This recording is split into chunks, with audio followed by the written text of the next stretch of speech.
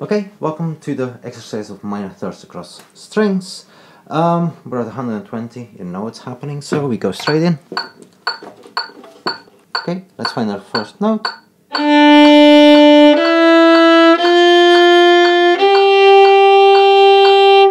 we go. One, two, three, four.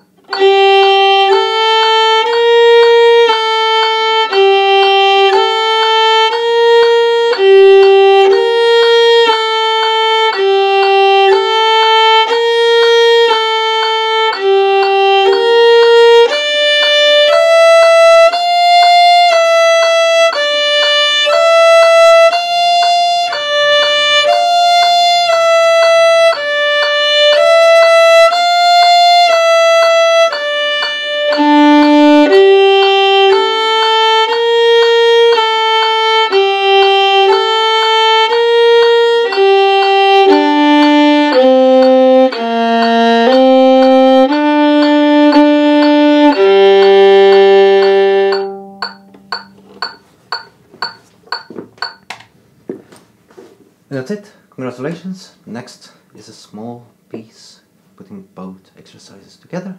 And then we move on to the fourth, of course. I'll see you there. Bye bye.